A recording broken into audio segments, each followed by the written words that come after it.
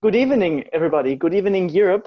And thanks for joining us today from anywhere in Europe, from anywhere in the world.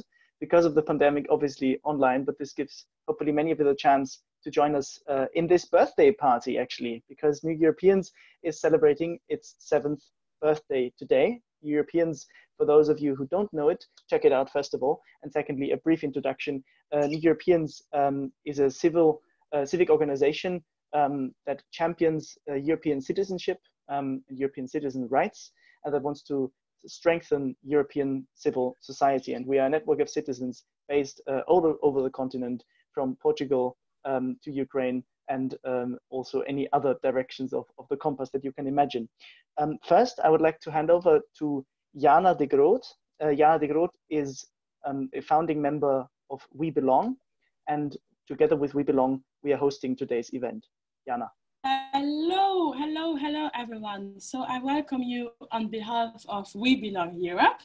I'm very happy to welcome all of you. I'm also very happy that all the panelists uh, took their time to discuss about the future of Europe today. Today is a very important day.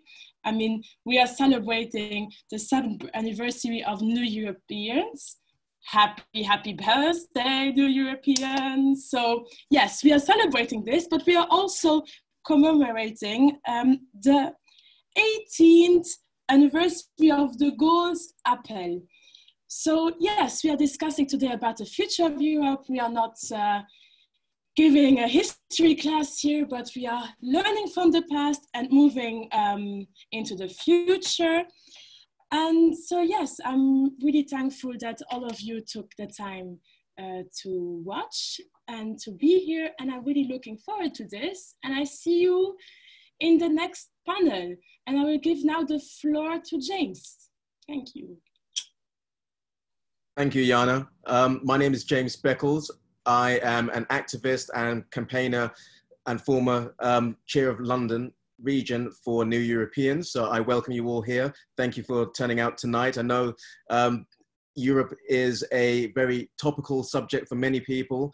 It's an exciting area. And tonight we'll be, just, we'll be discussing, as Jana said, um, 80 years since the l'appel um, from Charles de Gaulle, the call to Europe. And today we have our own l'appel. So let's uh, make the most of this time. Uh, it's as I said, it's a momentous occasion. It's a conversation. It's about learning, and it's an appeal to us as well to share in our European beliefs, our values, but also discuss how we can make Europe better for all people in the future and also presently now. So I look forward to having and hearing all these discussions with you, and um, let's get started. Thank you very much, Jana and James.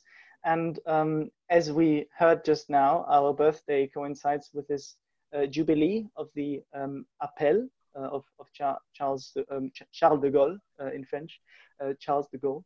Um, and we are now going to hear um, Monique Beltrâme, um, and we're going to hear her appel. Um, it's going to be a section of the, of the, of the, of the long appel, which you can find anywhere on the internet. And just a quick note, because Europe, Europe is a multilingual place, um, for those of you who don't understand French, this is absolutely no issue, and there is going to be um, the transcript in the Facebook comments in English if you want to follow it in English. Um, and this gives you the floor, Monique, for your appel. Monique, c'est à toi oui. maintenant. Les chefs qui, depuis de nombreuses années, sont à la tête des armées françaises ont formé un gouvernement. Ce gouvernement, alléguant la défaite de nos armées, s'est mis en rapport avec l'ennemi pour cesser le combat. Certes, nous avons été, nous sommes submergés par la force mécanique terrestre et aérienne de l'ennemi. Infiniment plus que le nombre, ce sont les chars, les avions, la tactique des Allemands qui nous font reculer. Ce sont les chars, les avions, la tactique des Allemands qui ont surpris nos chefs au point de les amener là où ils en sont aujourd'hui. Mais le dernier mot est-il dit? L'espérance doit-elle disparaître? La défaite est-elle définitive? Non. Let's focus um, on uh, the Call of Europe today, and let's go over to, to Olivier Védrine. Um, Olivier is one of the directors of the organization, one of the directors of New Europeans, um, and is a former protester on the Maidan um, in Kiev, um, which you all obviously remember from the very tumultuous times um, back in the days of, of the protests. Um, he's also a former spokesperson of the European Commission for a couple of years, and he's today the chief editor of the Russian Monitor, um, which is um, one of the few, I unfortunately have to say, free media in Russia and um, a strong voice of the opposition in the country. Um, Olivier, um, please share your uh, call to Europe. Merci beaucoup. Bonjour. Uh, happy birthday to us, to New Europe. Um, yes, how to speak today with two birthdays, it's very difficult. How I can start. Uh, I don't want to do a nostalgia. I am not a nostalgic person. Um, De Gaulle is a part of our history. He, he was in the right side against Hitler, and he was for democracy and against totalitarianism. And uh, what we have to, what the heritage of that is that we always have to stand up for the value in which we believe. De Gaulle did that against Hitler, but he was not alone. You have also resistance in Italy. You, you had an event uh, with that last week. And from those resistance network, uh, a European, can say European Federation idea, European construction began. Then the legacy is what? Is we have to stand up for our value. This is the future of Europe we you can go you know in the mont valérien uh, in france where you can see the big croix de lorraine lorraine cross where you have some person from not only from france but also from africa who are in this uh, crypt of mont valérien. And each year you have the president of france who go to the mont valérien to commemorate the resistance.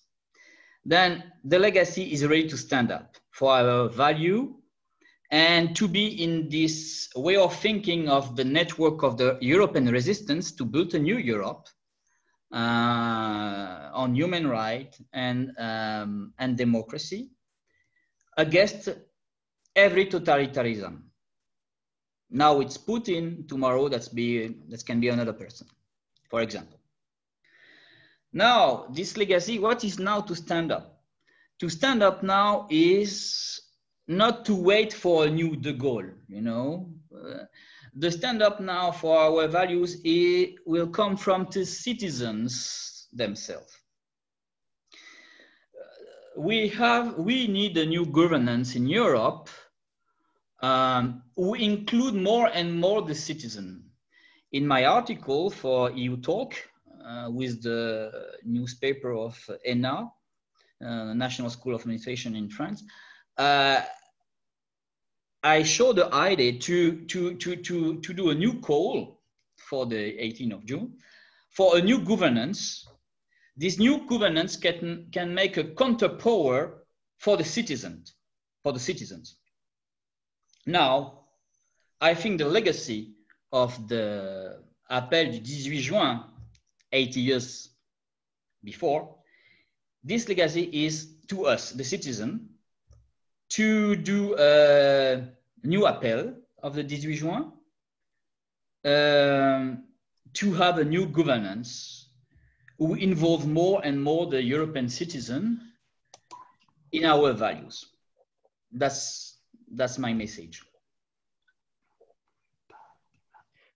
Thank you very much. Um, that was great. This was um, the call to European citizens to become more active. And this is going to be um, the principal uh, point of basically uh, our next panel and also uh, of this event because we are commemorating, um, uh, not commemorating, we are, we are celebrating uh, the birthday of an organization that cherishes European citizenship and active European citizenship. Um, and we are uniting people not only from different areas, but also um, I think we have a sound disturbance here. Um, so maybe that microphone could be muted. Um, we are celebrating um, today an organization that combines uh, citizens from all over the place um, and from also also different different sectors of society, both professionally um, as well as uh, where they are active in, in their free time. Um, and this is why I'm now getting back to uh, Jana, first of all, because she's going to join us on our panel. Um, Jana is, as I said before, a co-founder of We Belong, and you already got to know her in the, in the immediate session. Um, the second person joining us uh, on the panel you also know, it's James uh, Beckles. He is, as he introduced himself, a local politician in, in London and a former chair um, of, of New Europeans London. Um, the third person joining us today is Maria Laura Franciosi. Um, and uh, Maria Laura Franciosi uh, is also a director of New Europeans, um, just like Olivier, as, who we heard just before. Um, and she's also um, a leading editor in the um, ANSA, which is which was uh, ANSA, which was uh, rated the most reliable um, media outlet in Italy, um, and is very much um, knowledgeable in the field of freedom of media, freedom of press. Um, and the fourth person joining us on this panel now is Filipe Marques. Filipe Marques is a judge from Portugal and is the president and founder of MEDEL. it's an organization um, an association of lawyers, um, which is active all over Europe and has different bases all over the continent, and that is fighting for the rule of law, um, not only, but of course also in Hungary and Poland.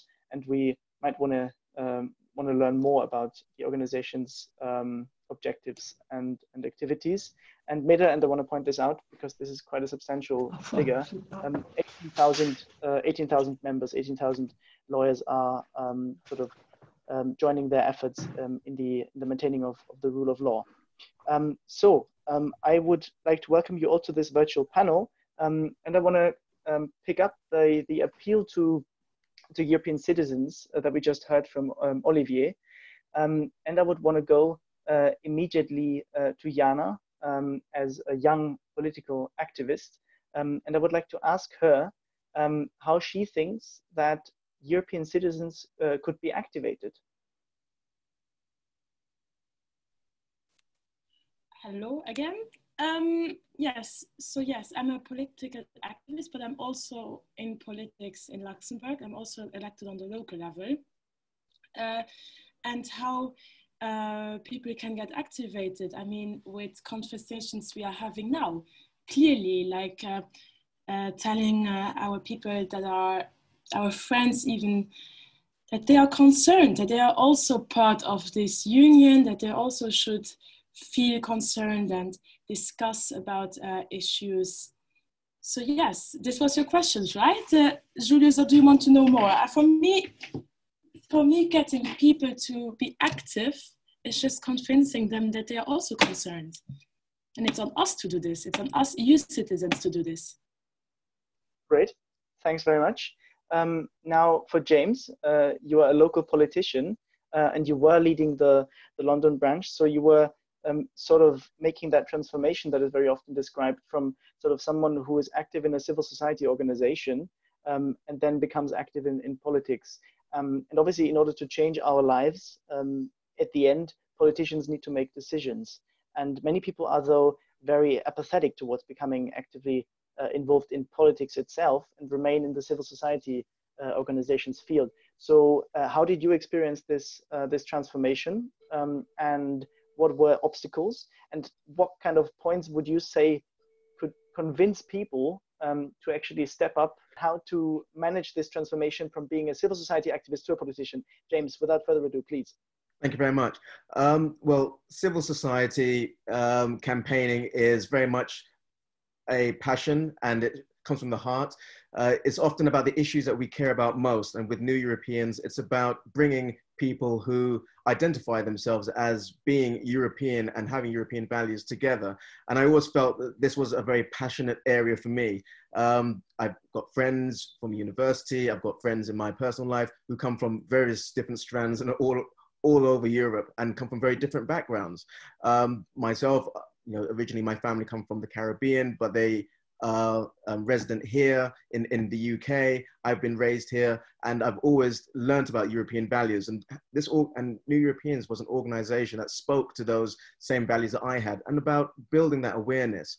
And often um, from a UK perspective, uh, knowledge about the about the EU and about you know the, the multilingual, multicultural nature of, of the of Europe was often missing. And I always felt my role, especially in a, in a big melting pot like London was to go out there and raise those um, issues. Um, I would say that my transition from being a local campaigner and activist with New Europeans to transitioning into local politics um, was was seamless, but it wasn't. Often there, there were often competing um, goals often in time in what you have to do. There's compromise while it, as a civil society campaigner you have your issue you stick to it and you try to get those gains. But there's also parallels. As a local um, office holder i can raise those issues in a town hall or with a greater audience of people. And i've had the opportunity to campaign on a um, pan london level um, during the european elections. Didn't quite win but it was a good good time to, to show those values and to talk about the um, you know the challenges of Europe, but also the benefits. In, in terms of the obstacles, I would say that's one of the obstacles. Is often people don't often know that they can get involved. Um, you have groups who've come from um, new European states who often aren't uh, willing or able to get involved in, in their host country. So part of what I was doing was trying to encourage them that they can do it, that their rights um, were tied up in in, in campaigning, in being active in their local communities, and encouraging others to do so as well. And convincing people is often hard. It might be a soft convincing that you simply talk to them. You try to raise their awareness about the issues that are concerning them. And it could be, you know, other more um, in-depth campaigns. So with literature, with um, events, trying to show that these are the benefits of being a European citizen. These are the benefits of having a um, set of institutions that support you and support your views. So I think it's um, it's exciting to be a campaigner, whether it's in a political party or political field or from civil society. I'm still um, with New Europeans now. I still do a lot of events, and I see these parallels there. And I would encourage anyone out there, if you're passionate about a subject and you're passionate about Europe and you're passionate about the EU or or any other part of, you know, whether it's human rights, um, civil liberties and justice, then get involved in any sort of organization, and especially one that speaks to your values and to what um, you hold dear to you.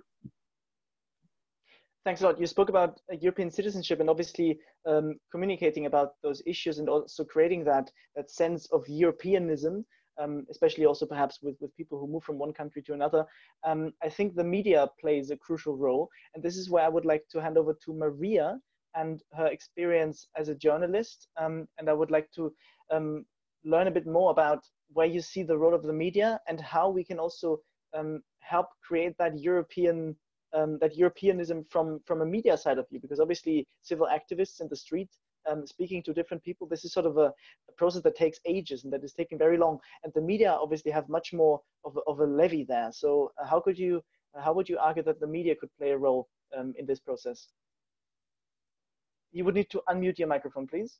Yeah. Thank you very much. I um, for giving me the floor. Um, sorry, because before I just uh, lost the connection, but uh, anyway, now I found it again. Um, for me, uh, Europe uh, means uh, two words: compassion and solidarity.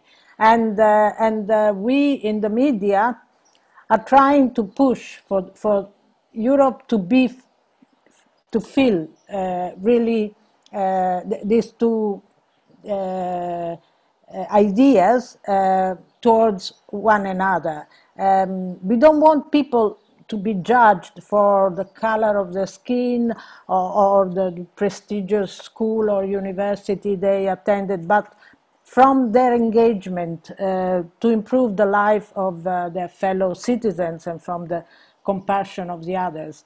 And, and this is the, the, the, the, the, what, I mean, this is for me, this is what what the, the media should be doing.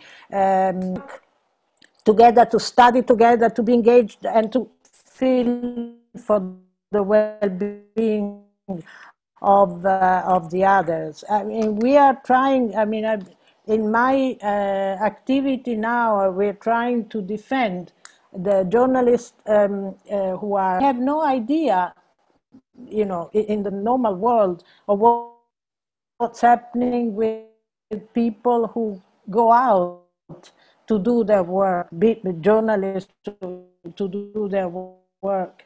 And uh, particularly, I mean, also during this uh, attack, because uh, people thought that they were kind of spreading the, the, the, the, the COVID, uh, and, and, and, and this, this is one of the, of the many recent cases of, uh, of uh, journalists being so uh, I think we have to uh, think that the value of uh, information is something that we cannot do without, and and this is what we are uh, we are fighting for for the freedom of the of the press, freedom of the speech, and uh, and freedom of information.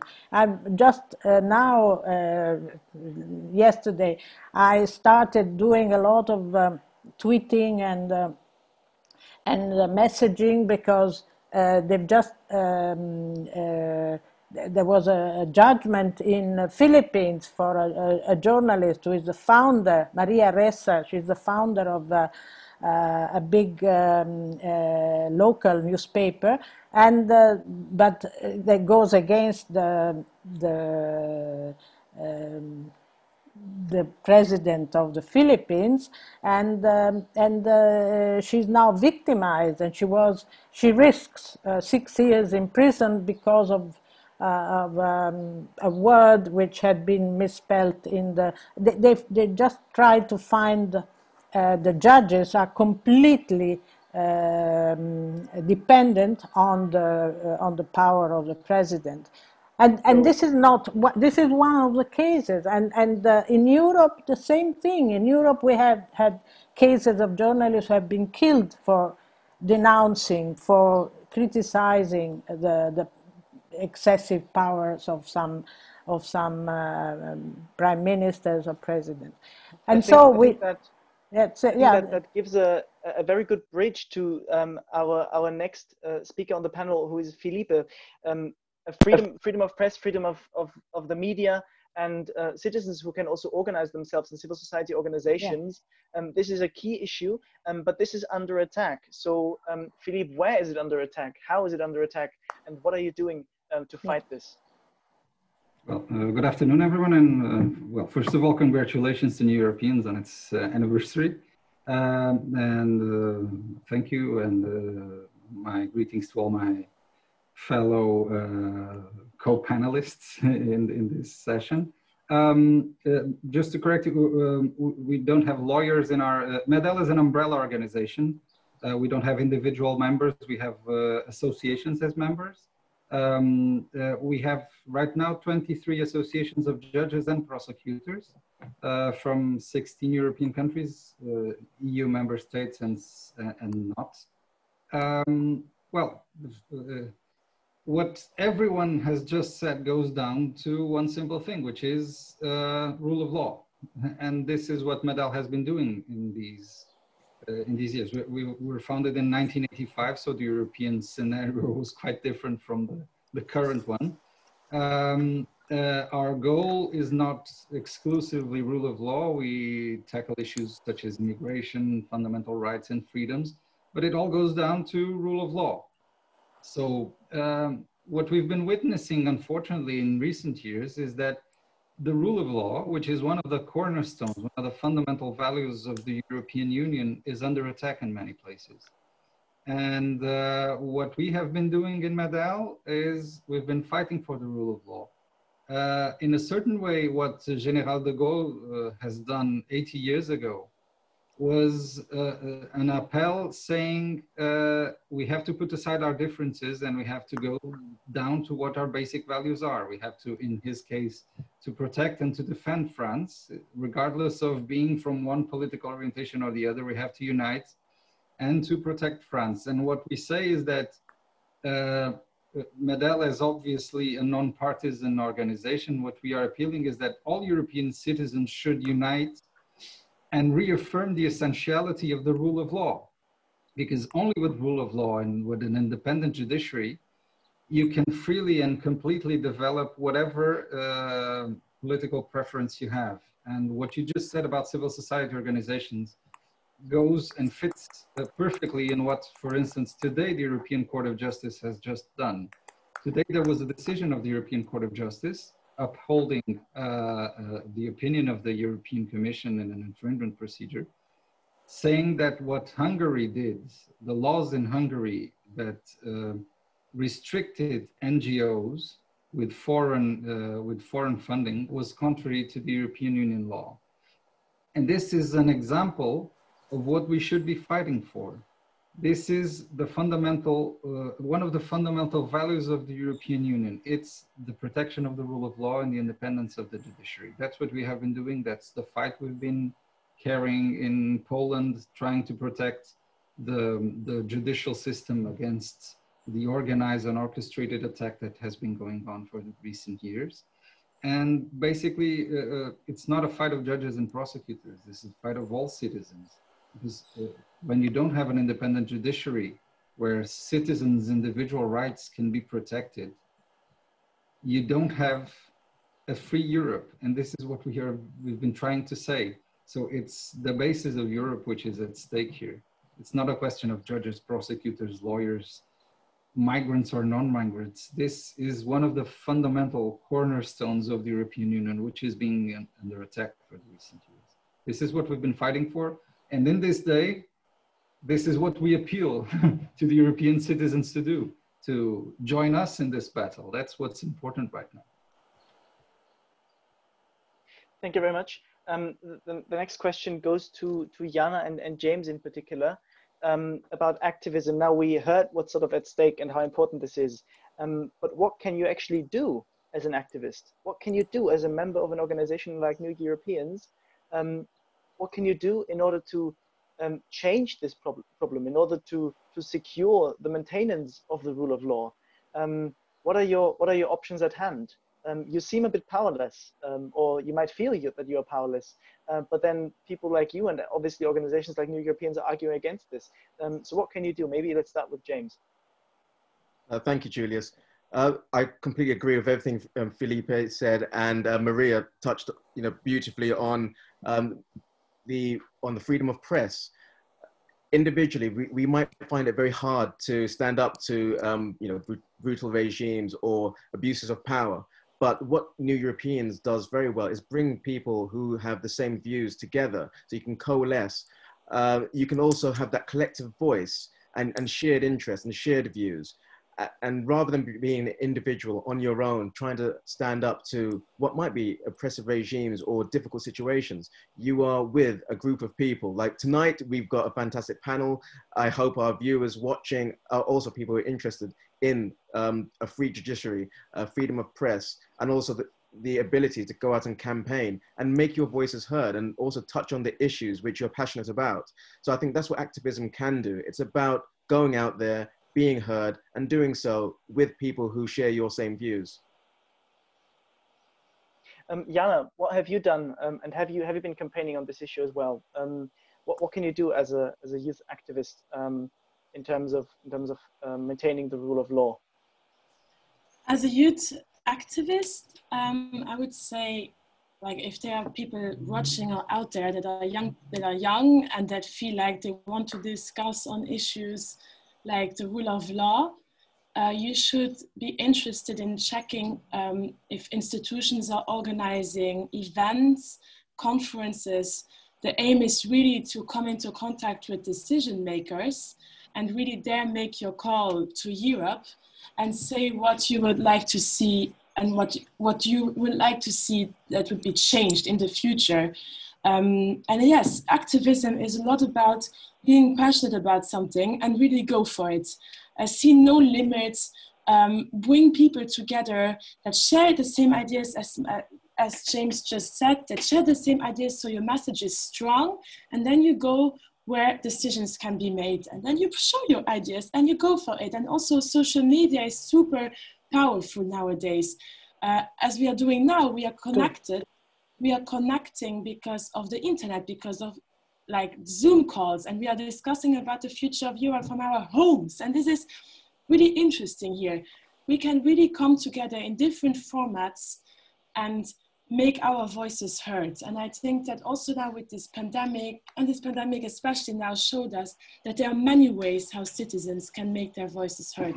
So I would say as an activist, you can change a lot. You can change a lot and you can use uh, social media uh, as a tool to make your voice even more, like your voice stronger and your message stronger. So yes, this is my opinion. Great. Um, thanks a lot. And maybe, maybe to conclude this, um, just very briefly uh, from Filipe, obviously this is also a form of activism, but it's a very, it's a very different form of activism. It's not in the streets, it's not uh, campaigning, it's not handing out leaflets um, for something or um, about an idea, um, but you are basically advocating for something and you really need to influence politics and you really need to um, also watch um, what politicians are doing and what kind of bills are put forward, such as the one in, in, in, Hungary regarding the, the alleged um, withdrawal of the of the state of emergency, which then sort of isn't the isn't the withdrawal. So um, how how does your work look like, and what are you doing um, to, to to combat concretely? Well, being a judge, I have to believe in justice. So I would say that uh, we are a civil society organization, and um, uh, we've been working uh, like uh, in the previous 70 years of the European Union. There's a silent revolution going on. Uh, what I told you about the European Court of Justice's decision of today is uh, one of many decisions the European Court of Justice has uh, given in recent years. And they are truly shaping what Europe could be in the future. Uh, up until two or three years ago, um, states were free, member states were free to do whatever they wanted in their national judicial systems because the organization of national judiciaries was considered a purely internal matter. And uh, much because of the um, work of uh, judicial associations, and here I have to speak about my judicial association from Portugal, uh, we managed to trigger a decision from the European Court of Justice that for the first time said uh, the organization of internally of the national judiciaries is a competence of member states, but they should not, not forget that you are in single judiciary common area. So an attack to, an, to the independence of uh, judges in one country affects the whole European Union. So you are free to do whatever you want, uh, organizing your national judicial systems, but you have to respect the common values in what regards the independence of the judiciary in the whole area of the European Union. So um, we are basically uh, working in two different fields. We're speaking with the, the, European institutions, the European Commission, the European Parliament, the Council, trying to uh, convince them that it is urgent to act in the cases of Poland or Hungary or other cases which are not so public but also deserve our attention but we also are very uh, interested in what the European Court of Justice is doing. Uh, and this, this because of a simple reason, as we all know, much of the building of the European Union was uh, done by the European Court of Justice, applying the European Union law and principles to uh, areas which were not black and white in the treaties. And that's basically what's happening now. And the European Court of Justice works on purely juridical fundaments, not political. They don't need unanimity to have decisions. Judges in Luxembourg apply European law principles and treaties. And um, many times, as in this case has happened, they manage to act when politics don't have the will or the courage to do it. Uh, so yes, it's true that we as a civil society organization uh, the civil society organization are working also with the European institutions, political institutions, but we also have a very important job uh, with the European Court of Justice. Great. Thanks a lot. Unfortunately, uh, our time is up because we have so much to cover tonight. Um, now we're going to see uh, two videos um, with a special, very, very individual call to Europe, um, which we're going to see now.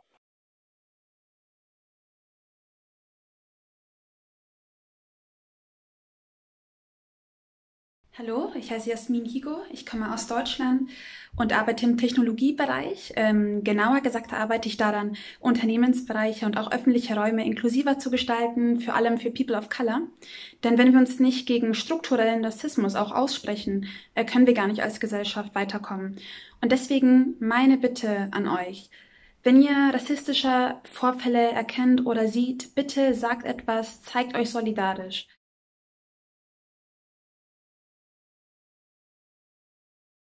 My name is Dimitris Ballas. I live and work in the Netherlands where I'm a professor of economic geography at the University of Groningen. Today, thousands of refugees are losing their lives in the Mediterranean Sea in a desperate attempt to find sanctuary in Europe. Join me in demanding the safe passage of refugees and the protection of human rights now going to go straight into our second panel. And for this second panel, I would like to welcome, uh, first and foremost, the founder and secretary general of New Europeans, that organization whose birthday we are celebrating today, seven years old, um, Roger Casale. Um, I secondly would like to welcome Paul Henningsen, uh, a board member of the New Europeans, joining us from Aarhus in, in Denmark, and um, uh, by profession a communications specialist and advisor thirdly, I would like to welcome uh, Adelaide Hirwe. Adelaide Hirwe um, is um, the Secretary General um, of the African Union Diaspora Youth Initiative and also the founder of the ACP Young Professional Network and has worked a lot in different uh, forms of activism regarding um, race equality, regarding feminism, and in various other forms, which is why we welcome her as well. Um, and final, uh, last but not least, um, I would like to welcome Agnieszka Weinar, uh, who is today joining us from Canada. So um, bon appetit for lunch, I, I should say. Um, and Agnieszka is a professor of European law and an expert of uh, on, on the issue of European citizenship, which is so key to today's uh, today's debate um, and to our organization. So thank you very much for joining us. And again, sorry for this um, technical interruption we just had. We just rewatched the, the, the two videos, and I would now like to pick up um, on these issues regarding um, equality um, and the rule of law, um, sort of the right to, to live a secure life in, in peace. Um, all these issues are very, very strongly connected to European citizenship. They are very connected to European values. And um, I would like to ask Roger what his idea was when he founded New Europeans and what uh, New Europeans is doing in order to create and foster that European citizenship and that European identity. Thank you, Julius, and thank you to everybody who's joined us for our birthday celebration. And uh, as the saying goes, it's it's our party, and we'll cry if we have to. We we had to cry a little bit because of the technical issues, but thanks for staying with us, and thanks for everybody who stayed with us since we started in 2013. And the reason we started was that we realised, a group of us realised that uh, the referendum was coming in the UK, and if Britain voted to leave, EU citizens would be stripped of their rights. So we uh, we thought, and we were we were still EU citizens. We, the Brits, were still EU citizens. So we set up a, an organisation to uh, promote free movement, EU citizenship, and to say to people, you know, value what you've got. And unfortunately, uh, Britain did vote to leave, and now people realise uh, what they've got, and unfortunately, they realise it too late. But it's too late to stop Brexit, but the issue of citizens' rights is still a very live one in the UK for EU citizens there and for uh, in the EU. And uh, more importantly, to even than that, in terms of our uh, discussions today, um, you know, learn from Brexit and uh, act now. Don't let it get too late. And we have heard this evening some fabulous contributions about the rule of law, press freedom, racism in Europe, all kinds of issues that uh, really come down to our fundamental values, what it means to be a European, to belong to Europe. And we, um, we have to stand up for our rights and our values uh, in every time. And our time, in our time now, we have to do that as well.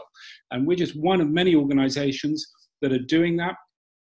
As I say, thank you very much for being with us. Come and join us. We have a fantastic team. Uh, it's neweuropeans.net, and there's a job to be done to save Europe. And let's get that done before it's too late. Indeed, thanks. This is another call to Europe today. Um, I'd like to hand over to Agnieszka, um, and I would like to know from her because, especially with your with your scientific background, Um, what can you tell us about that European identity? Are we there? When are we going to be there? How would you measure if we are actually there? If that European identity has been created? So, um, how do you, as a as a scientist and as a law, obviously a, a law scientist um, and an expert on European citizenship, um, how do, uh, what is your take um, on this this question of European citizenship and European identity? So I need to, well, first of all, welcome everybody. Uh, it's an honor to be here. I'm a newbie. This is the first time I participate uh, in an event of New Europeans. Do you hear me well? No, no, yeah, yeah. Yes. Yeah. No, because I have to tell you uh, uh that uh, here in Canada, I'm I'm calling to you from uh, Ottawa everybody works uh, from home and this is actually the time we end our lunch so internet gets very busy uh, so um, i apologize for any inconvenience up front I need to say that I'm not a law researcher. This needs to be clarified. Uh, however, I'm I'm the researcher of the European citizenship from the point of view of the European studies, and um, I live in Canada now, and I think that this going away from uh, Europe actually gave me a, a very interesting perspective on what it means to be European. European studies, we always say that people who engage with, uh, with Europe more, so for example, people who go to Erasmus, who are mobile throughout Europe, uh, get most stronger, I would say, a stronger European identification. And uh, we can see that, and I was really touched to hear the first panel, the words of uh, Filipe, who actually got engaged uh, with the context and the situation in my home country, uh, Poland.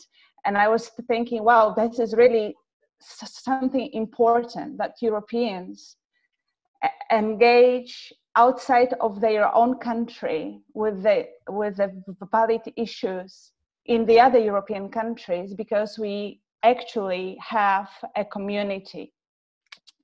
So what I would like to say and what is probably the, the most important thing on my mind now that this values um, sort of disappears when you leave Europe. And Brexit is, let's say, only a very specific case. However, you have to understand that all Europeans, the moment they cross European borders, they lose their European citizenship. You normally do not really think about it. But this is uh, true because almost all the rights uh, which are enshrined in the EU passport, in the EU nationality, uh, are based on the residence in Europe. When you leave Europe for half a year, a year, 10 years, or whole life, the, these rights do not apply to you at all and we forget about it. So for me, the pitch to, to Europe is actually we have to go back to uh, to the table.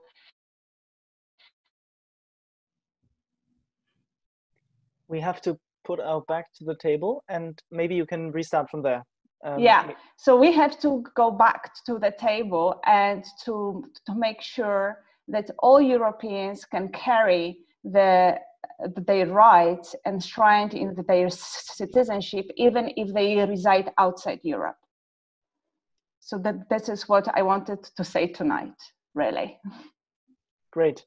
Uh, thank you very much. Um, handing over to Paul, um, uh, as I said before, a communication specialist and also specialist on teamwork. And um, he always says teamwork is what we need for Europe to work um, because obviously a team also includes diverse members mm-hmm. and uh, as a team of 27 states if you like and even more obviously citizens um, how can we work together despite the differences that we have which are obviously there culturally language-wise, and in many other forms. Well, I'd like to, uh, of course, uh, welcome everybody and congratulations, Roger, to your to European's birthday. Uh, but I'd like to connect to what Agnieszka said about going back to the table. Uh, I tell you a story. For many years, I worked as a freelance interpreter. That means I sat at the table in the parliament, in commission, uh, in the council. And that's, of course, one of the reasons why I'm, I, I'm really looking at what do people say and how do they say it. And uh, today and tomorrow, uh, the heads of state and government are meeting uh, uh, online like we do. And uh, I think it'll be really interesting to hear what's their call to Europe. What do they say and how do they say it? And I hope they'll step up to the plate and talk about uh, three things. First of all, that we need to cooperate about health. So, so my vision would be the healthiest continent. That should be the vision that 27 heads of state and government should talk about yesterday. How do we do that? And then they might also have a vision of uh, how to make the most the, the greenest continent. I think I think you could gather European populations around that vision. And then uh, a final a final sort of call to Europe is I think we need a dynamic Europe, a vibrant Europe. That means that there's that, that we we we we feel that uh, we are onto something that where we where we and in football terms we didn't have the European Championships. Too bad because that would have created uh, a common experience for all Europeans that we everybody loves, you know, uh, particularly football lovers, of course. But uh, but the European Champions is where nations compete. But we also have the Champions League, where every Champions League team is composed of many different nation- nationalities. So we have both things in the same sort of in the same sport. So uh, my call to Europe is really that that let's let, let's, let's talk about health. Let's talk about about green, and let's talk about being vibrant. Uh, and I'll come back uh, with other calls when uh, Julius, you want probably want somebody else on the screen now. well, I can see that you're a motivator yourself. Now I'm going to hand over to uh, Adelaide. Adelaide, uh, I introduced her as the Secretary General um, of the African Union um, Youth Diaspora Initiative, um, and also she's working as a program manager um, at the ACP um, Young Professional Network. And I can't even mention all of the different projects that he's been part of, she's been part of in the past, because they are so numerous. Um, but what is clear is that you've been very, very active in the field specifically regarding um, African youth diaspora, regarding equal rights, um, both regarding race and regarding um, feminism, uh, which are which are sort of both aspects where um, sort of the the um, the value of equality comes in. Um, so you are you are very experienced uh, in these sectors, and I would like to hear from you regarding uh, well first of all your call to europe generally for this tonight's event um, and secondly uh, linking back um, to what agnieszka and, and paul said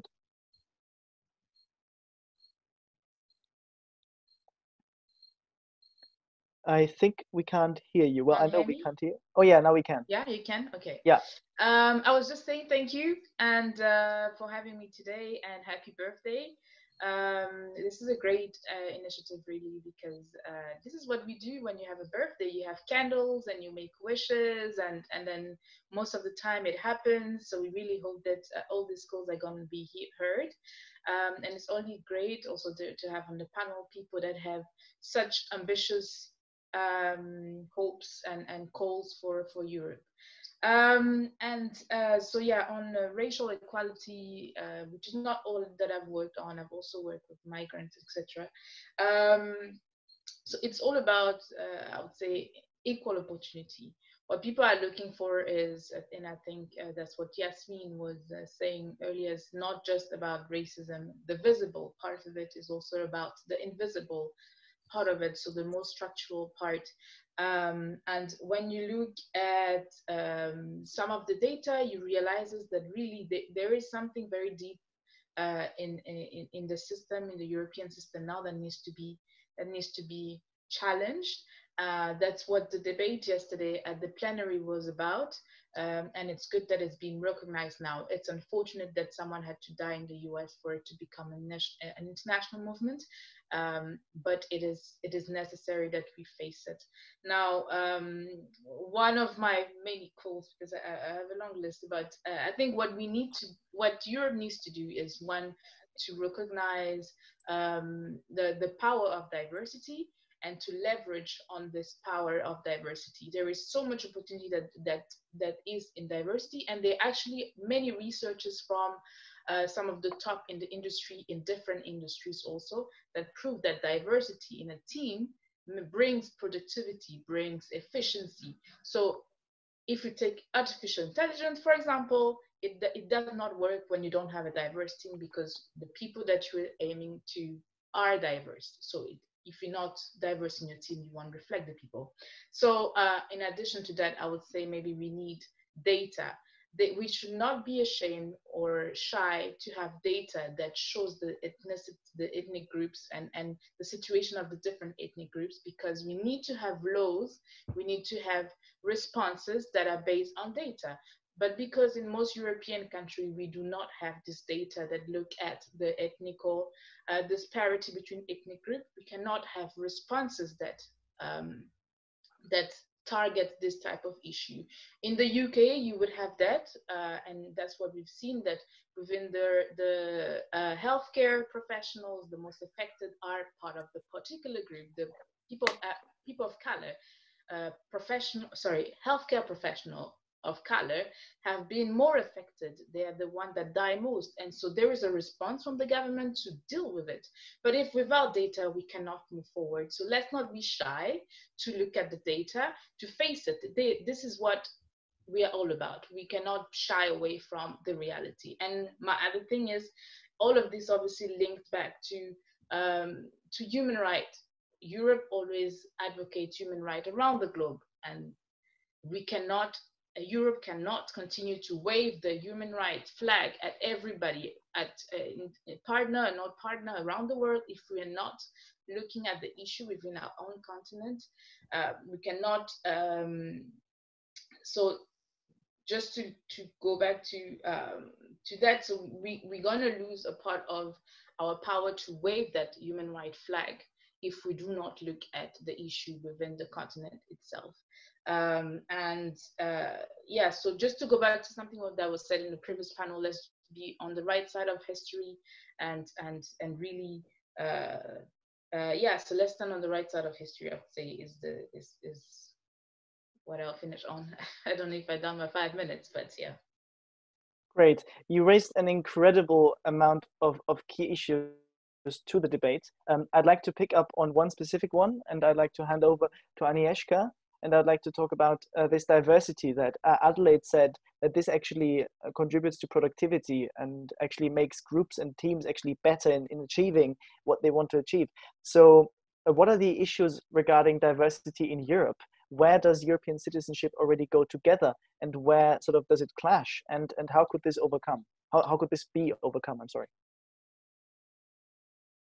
So again, uh, I come to you from a different perspective because uh, I'm I'm Europe outside Europe, and honestly, uh, there is a big truth in uh, in this statement uh, that there is no uh, no doubt that uh, and no no doubt that the, the, diversity is important. I see it every day in Canada here. the best AI Institute is based in Montreal.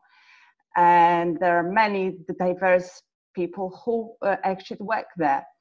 Uh, from the perspective of the European citizenship, as uh, such, it is not based on ethnic or uh, national really uh, considerations, right?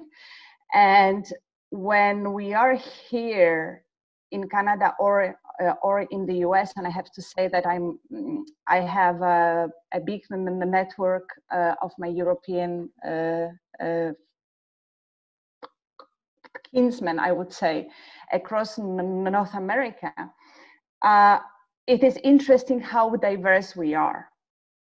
You know, the whole idea that uh, that immigrants from uh, from Europe are basically white and Christian is no longer true.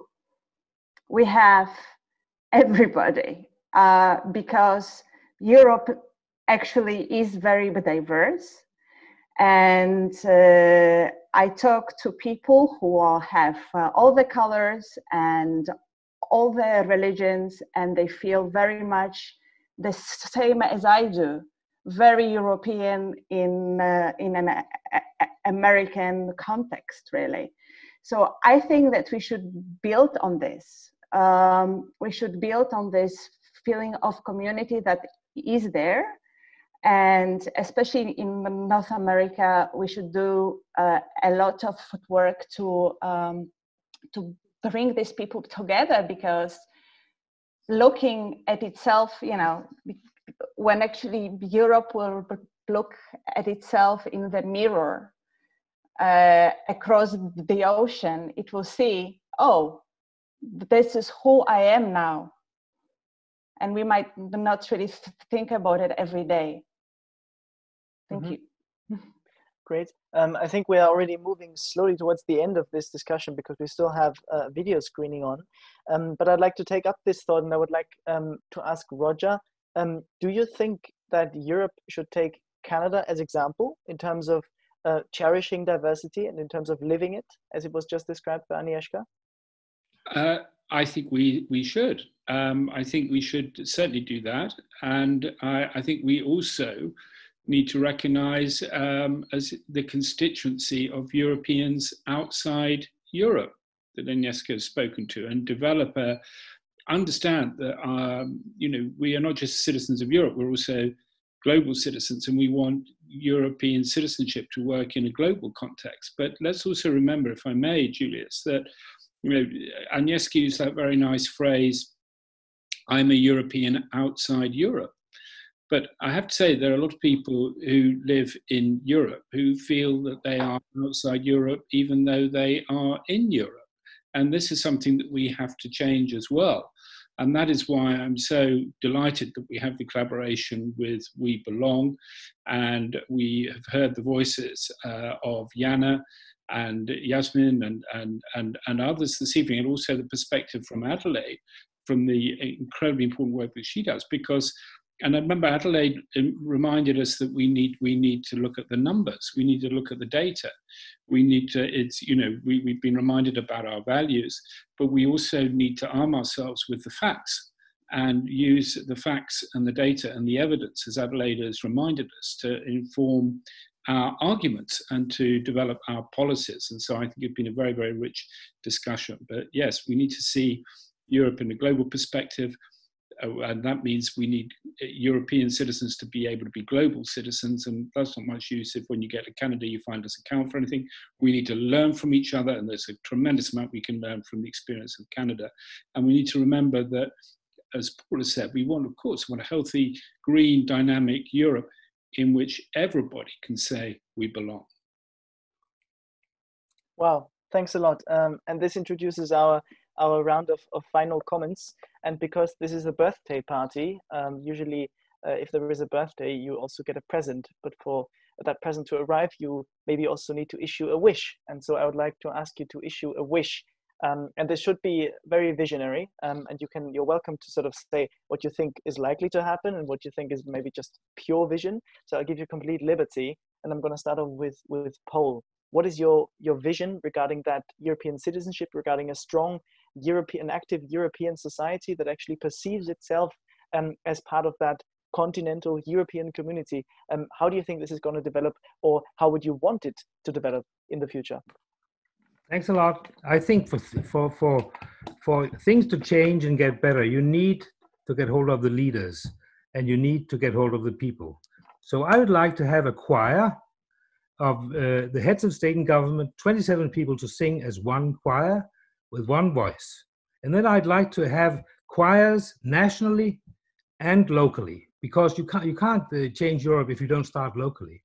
And and choir is a wonderful metaphor because you know uh, you find out that it's fantastic to sing and you find out that uh, maybe the, the, the the person next to you doesn't sing as as wonderfully as you do, but there's room for that, and uh, you know you you make the best of it. Uh, so I, I, that's my wish, you know, to get uh, European heads, heads of state and government to sing as one choir, and let's do that all also nationally and uh, locally. And and the, the key words we heard tonight: equality, rule of law. I mean, the repertoire is there, but we don't understand it. We don't get it. Yeah, congratulations, Roger. Sing. okay, uh, thanks a lot. Uh, without without any without any comment, um, I would like to go uh, to Agnieszka. So in this same vein, my the, the, dream would be to have a festival for the European kids uh, in Canada and in the US. The kids that are second or third generation Europeans who have the passport but who don't understand what it means really because no one taught them to. Uh, and then we will see the, the diversity and the the colors of these kids and their happiness and we can share with them mm, the, the dream of europe. Yeah. Thanks a lot. Uh, adelaide i think it's fair to say that the two of us are certainly um, closest to being the kids of europe. Uh, so yeah you were you were just mentioned perhaps in a way maybe uh, in a bit of a broader sense uh, what is your what is your vision what is your wish um, so my wish it's so long, but I will just say um, for the leadership in Europe to mirror the people in Europe um, and for um, for our system to mirror what we stand for openly. So yeah. Great. Thanks a lot. These are incredibly many calls of Europe uh, or calls to Europe today. And um, with that, I would like to hand over um, to Roger, who is going to introduce uh, the final part of the evening. Um, without um, without further ado, except for thanking our audience very much, our live audience, and thanking our panelists as well for um, navigating with us through these stormy waters today. I think that in, despite that, the conversations were great and the conversation was recorded on Facebook and you can watch it live. We're going to cut it and there is going to be a nice and polished version for all of those uh, who didn't really uh, catch a certain part or who maybe um, also jumped off because they thought, okay, this is not going to work out. It is actually working out. We, we made the proof. And um, thank you, thank you very much for joining us. Um, happy birthday, New Europeans. And uh, yeah, Roger, the founder, the floor is yours. Well, thank you, Julius, uh, for uh, for moderating and for all you did with our team to prepare this uh, birthday celebration. And thank you to our panelists for turning up and for uh, telling us your calls to Europe, calls to Europe, which uh, those uh, who are watching should know we will also be producing on video, each call to Europe on video, short video with a short blog, and we will be putting that out over the next two weeks, the, the, the call to video. And if you're watching and you'd like to make your call to Europe, you'd like to make a short video or a blog and make sure that your voice is heard, please get in touch. Uh, write to us at bureau, B-U-R-E-A-U, at neweuropeans.net. Uh, join New Europeans, join us, join on one of our teams, join as a member, join as a volunteer, uh, help us because there's a job to be done. And you've seen this evening the problems we had just on a technical level.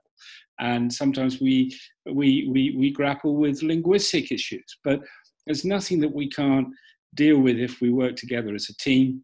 And we are a team and we have uh, a job to do. Uh, come and help us.